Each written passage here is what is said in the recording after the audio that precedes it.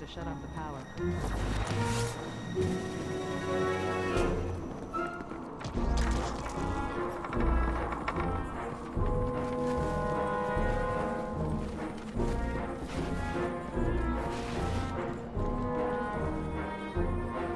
Guardian, I'm glad here.